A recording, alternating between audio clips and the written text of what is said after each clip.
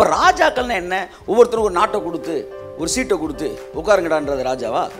What is meant by king ராஜானா உங்களுடைய ப்ரொஃபஷனில் நீங்கள் தான் கிங்கு மக்கள் சொல்லுவாங்களா சார் அதில் அவர் தான் சார் கிங்க என்று சொல்லத்தக்கதாக உங்களுடைய துறையிலே உங்களை ராஜாவாய் தேவன் மாற்றுவார்.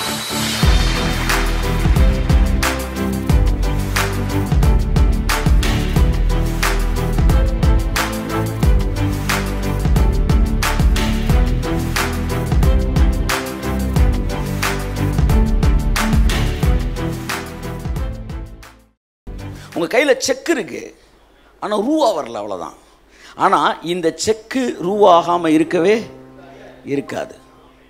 அதான் தேவன் உங்களை ஐஸ்வர்யத்தை தரலையா? உங்களுக்கு ஆசீர்வாதம் தந்தாராம் இந்த ஆசீர்வாதம் தான் யோசேப்பு மேலே இருந்துச்சு.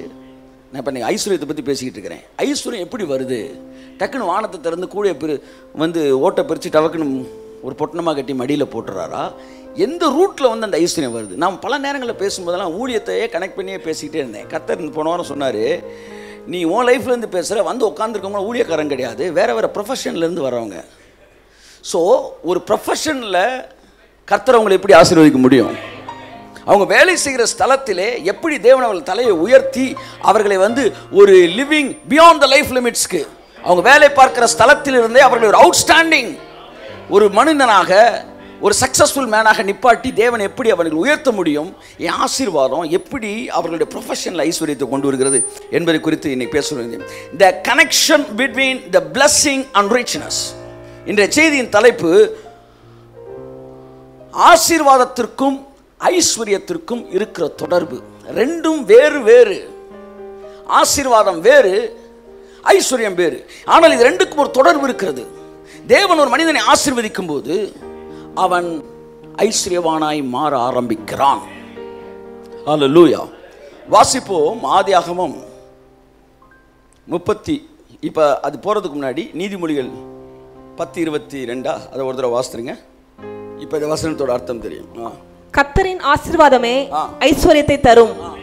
அதனோடே அவர் வேதனையை கூட்டார். ஆசீர்வாதம் ஐஸ்வர்யத்தை தரும். வாசிப்போம். ஆதியா முப்பத்தி ஒன்பது மூன்று. கர்த்தர் அவனோடே இருக்கிறார் என்றும் இப்போ நம்ம பார்க்க போகிறோம் ஒரு மனிதன் நல்லா கவனிங்க தேவனால் ஆசீர்வதிக்கப்பட்டவன். ஆனால் ஆசீர்வதிக்கப்பட்ட அந்த மனிதன் அந்நிய நாட்டிலே அடிமையாக இருக்கிறான்.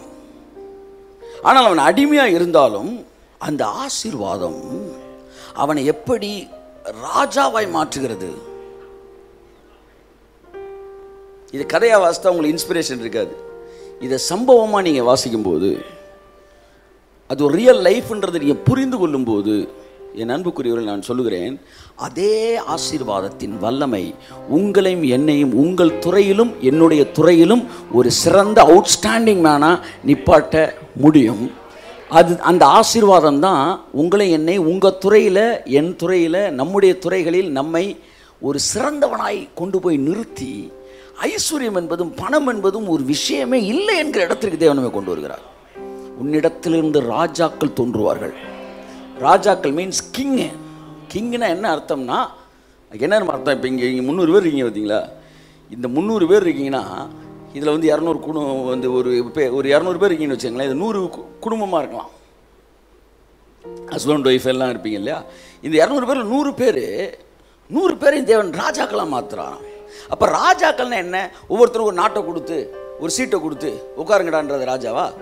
What is meant by king ராஜானா உங்களுடைய ப்ரொஃபஷனில் நீங்கள் தான் கிங்கு மக்கள் சொல்லுவாங்களா சார் அதில் அவர் தான் சார் கிங்க என்று சொல்லத்தக்கதாக உங்களுடைய துறையிலே உங்களை ராஜாவாய் தேவன் மாற்றுவார். கரங்களை தட்டி கத்தருக்கு நன்றி சொல்லும் விசுவாசத்தோடு. ஆமேன். என்னுடைய துறையிலே if I'm a man of God if I'm a preacher I will be an outstanding preacher if you're an engineer you will be an outstanding engineer or if if a business man you you will be an business man உங்கள் creativity அவர் sir எப்படி கலைஞரை சொல்றாங்க வந்து sir அவர் அரசியல் சாணக்கியர் sir அவர் outstanding politician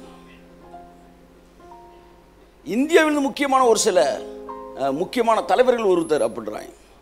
அவர் நல்லவராக கட்டுற அந்த ஏரியாக்கெல்லாம் வரல. ஊழலே பண்ணாலும் அதை வந்து தெளிவாக பண்ணுவார் sir our. Outstanding you will be an outstanding person உங்கள் மேலே ஒரு ஆசீர்வாதம் இருக்கிறது. ஓ உங்களுக்கு நிகர் நீங்கள் மாத்திரமே என்று சொல்லத்தக்கதா இந்த இரவு வேலையில் ஒரு அபிஷேகம் ஒரு ஆசீர்வாதம் உங்கள் மீது இறங்குவதாக. நீங்கள் ஒரு கம்பெனியில் பியூனா கூட நீங்கள் வேலை பார்க்கலாம். சார் பியூனா வேலை பார்க்கலாம். ஏன் அது எதுக்கு சொல்ல வரேன்? ஒரு ஒரு ப்ரொஃபஷனில் ஒரு டிஃப்ரென்ஷியேட் காட்டுறக்கான ஒரு சொல்ல வரேன்.